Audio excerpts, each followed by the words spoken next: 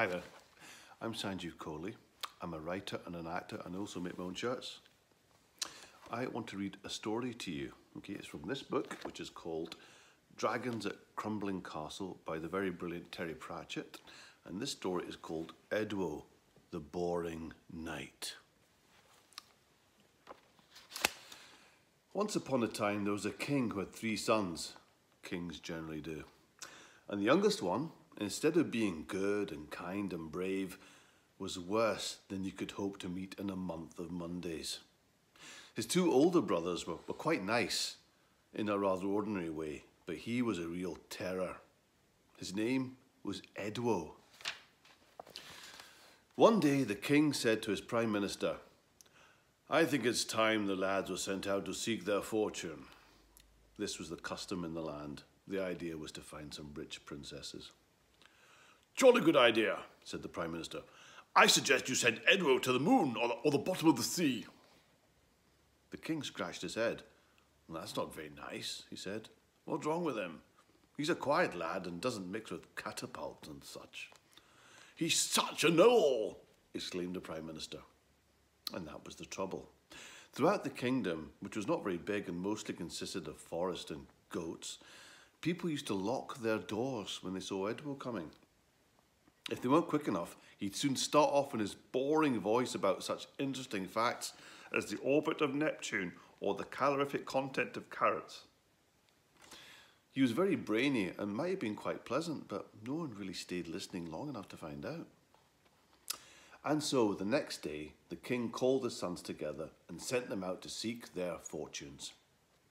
Edwo, being the youngest, left last. His two brothers had taken the best horses, so he had to make do with a broken down old donkey. He travelled east throughout the forest, and soon he started to chat to the donkey. At last the beast stopped, looked round at him, and he said, That is the most boring thing I have ever heard. You are the most boring and uninteresting person I have ever heard. Well, I like that, said Edwo. You're only a donkey. Ah, yes, but I can talk, and that's interesting, said the donkey. All I can say is, any rich princess you meet will fall asleep out of boredom. I can't help it, said Edwo. I've just got a boring voice. I'm not mad keen on rich princesses anyway. At that moment, the bushes parted and two big green eyes stared at them. It's a dragon, said the donkey. The dragon slithered out of the bushes and blinked at them, breathing a small cloud of smoke. It looked hungry. Hmm, said Edwo. Is it the great green dragon or one of the blue-hued variety? One can tell by the constrictions of the peripatetic tooth holders that it's about a hundred years of age, but... He went on and on and on in his boring voice, and the dragon went to sleep. The donkey prodded it with his nose. It's bored stiff, he said. How amusing. They hurried on before it woke up again. Further west, the forest became more open with lots of little streams and hidden meadows. The donkey, whose name was Pig Squeak, passed the time by singing comic songs in what wasn't a bad singing voice for a donkey. His favourite, however, began, Old Whatnot had a farm, At sunset, they came to a crumbling stone tower right on the edge of the forest. There was a brass black on the broken door which read, F. R. Golightly, wizard. All kinds of spells, enchantments, potions, patronised by royalty. Also, haircuts, shoes cleaned very cheap, teeth extracted while you wait. Oh, said Edwo, that kind of wizard. He doesn't say anything about bed and breakfast. He raised the heavy iron knocker, and after a while, the door was opened by a small bear. It was wearing an apron. The wizard's in conference, it growled. Uh, uh actually, we were wondering if we could stay here tonight, quavered Edwo. Well, that's different, said the bear. I have to be very careful, you know. So many people are after here for money. Come in, my name is Toodle. He showed them inside and added, It's a bit of luck you arriving because Mr. Golightly is in a spot of bother. Edwo could hear muffled shouts coming from the next room. What sort of horrible trouble could a wizard get into? He wondered. He pushed open the door. At first, he saw nothing in the wizard's room except a small bottle standing on a table. Then he saw F.R. Golightly inside it and only 10 centimetres tall. The wizard was very angry and squeaked loudly whilst jumping up and down. One of his spells went wrong and he was trapped, explained Toodle. The bottle is made of Pinhop's unbreakable glass and uh, it doesn't. How strange, said Edwo. Never mind, said Pigsqueak the donkey. Edwo here is very clever. Say a few words, lad. So Edwo tried his most boring voice and talked for two minutes about newts. Toodle went to sleep standing up and the bottle cracked, hence proving that unbreakable is not the same as unborable, and F.R. Golightly staggered out. He soon grew back to his normal size and he shook Edwo by the hand. I'm so happy I'll give you two and a half wishes, he beamed. Only two and a half? Said Pigsqueak. I look after Edwo's business interest, you know, and it should be three wishes. It's the cost of living, said the wizard sadly. I can't afford more than two and a half. But I'll throw in bed and breakfast tonight and, well, a three and a half league boot. He explained that a three and a half league boot was one half of a pair of seven league boots. He'd lost the other one. He had to hop. Early next morning they set off again, and the wizard called after them, If you're seeking your fortune, head for Globo Land. I know where that is, said Pigsqueak. You know a lot for a donkey, said Edwo admiringly. Yeah, well, I was turned into a donkey by a witch. What were you before then? Actually, I was a frog, admitted Pigsqueak. Before that, I was a toad, and before that, I was a tree, and before that, I was a handsome prince. I always seem to be falling foul of witches. A couple of days later, they came, tired and hungry, to the border of Globoland. Edwo and Pigsqueak wandered there all the next day without meeting anyone. I'm hungry, sighed Edwo. I wish I had something to eat.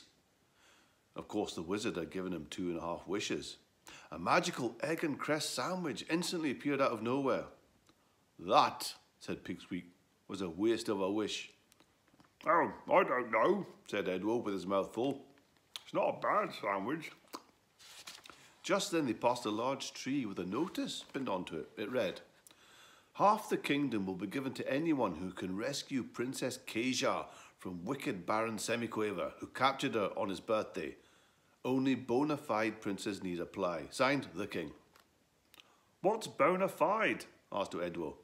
It means genuine, said Pigsqueak. Righto then, but I wish I knew where the princess is now. Letters of fire appeared in the air, reading, You could try the tallest tower in the Baron's palace just west of Snowcap Mountain. Edwo dismounted and pulled on the three and a half league boot that the wizard had given him. You follow me later, he said to Pig Squeak and gave a hop. Of course, the magic boot took him soaring way above the trees, and two hops later, he was outside the Baron's palace. There was a wide open plain there, and it was crowded. What happened was that several hundred assorted princes, out seeking their fortunes as they usually had to in those days, had read the notices and come along. They'd pitched tents and lit fires. Some of them were doing their washing in a stream. Some were having a sing-song. There was a terrific din. Most of the princes seemed to be about seven foot tall and much handsomer than Edwo. Up came a prince holding a notebook. He asked Edwo's name and he wrote it down impatiently. You are 76th on the list, he explained. Just then, a stretcher party hurried out of the Baron's palace carrying a very dazed prince. A big man with a megaphone appeared on the battlements and shouted, Next! The Baron's fought 34 people so far this morning, said the prince. He'd be ready for you around lunchtime. Oh dear, said Edwo as he watched another prince gallop over the drawbridge on a white charger. The prince shrugged. Even half a kingdom is hard to come by these days, he explained. right up until lunchtime, wicked Baron Semiquaver took on one by one, the princes who had come to rescue the princess. Pretty soon, the field outside the castle was littered with princes bandaging one another's wounds and complaining. After lunch, Edwo went hopping into the castle in his three and a half league boots, holding a battered sword borrowed from one of the other princes. The drawbridge creaked up behind him. Ua, He thought he was in a very gloomy courtyard. A door opened, and evil Baron Semiquaver strode out, wearing black armour and eating a chicken leg in a very sinister fashion. He held the club in one big hand, but the effect was rather spoiled because he still had his napkin round his neck. Fee, fi, fo, fum, he said. Come on then, I haven't got all day. What rotten, weedy princes they be these days. Ugh. Edwo took a hop towards him, and of course the magic boot brought him right up to the Baron. He swung the sword at the armour. It just broke, and the Baron laughed most objectionably. Edwo backed away and turned and ran up some stairs. He scrambled through a maze of dusty rooms, hearing the Baron lumbering along behind him. Strange suits of armour stood against the wall, and there were lots of dusty pictures of dignified ancestors. Soon he reached a big barred door where the princess was looking out between the bars. if you're the Princess Kezia, I've come to rescue you, he, he gasped. Excuse me, ma'am, I've got a bit of a job on just in a minute. Then he remembered he still had half a wish left. As the Baron thundered up, waving the club, he wondered frantically how to make half a wish. Should he wish for success in battle? A glorious sword? Suddenly, the most boring idea in the world came to him. He swallowed hard and he said, I wish that the floor was covered in marbles. Now, since it was really only a half wish, the floor was only half covered. Even so, there were enough marbles for the Baron to go skidding and slipping along the corridor until he hit a wall with a bang that shook dust from the ceiling. Ha! Beaten by marbles. Edwo dashed up and took a large bunch of keys from the Baron's belt. After a few false tries, he found one which opened the princess's cell. Hadn't we better do something with him? She said, pointing to the Baron. He was beginning to wake up. What's that behind that window? said Edwo, pointing. The moat, I think, said Princess Kezia. It was rather an effort, but a few minutes later they dropped the Baron into the moat, which was mainly mud. Later that day, the king arrived and, after trying unsuccessfully to wriggle out of it, presented Edwo with half his kingdom as he had promised. The Baron was sent into exile, and the first thing Edwo did was throw a large party in his palace for all the princes the Baron had fought. In the middle of the party, by which time the princess and most of the princes had fallen asleep after listening to Edwo, Pig Squeak the donkey turned up. He'd gone back first, though, to have a word with the wizard Golightly, and persuaded him to turn him back into a handsome prince, except that he was frankly not very handsome. He looked much better as a donkey, Edwo thought. Anyway, Edwo made him a knight and gave him a large estate. Even Golightly himself had been invited, and he was so pleased that he gave everyone who was still awake one fifth of a wish each. Then Edwo and Kezia got married because that was part of the contract. Princess Kezia turned out to be almost as boring as Edwo. She could talk the hind legs off a donkey when she got going. So lucky for Pig Squeak that he was now a knight, as he was rather fond of his legs. They didn't live completely happily ever after. There was the time that Edwo walked mud all over the palace carpets, and that time the roof leaked. But they were at least as happy as they wanted to be. And why not, after all? Thank you.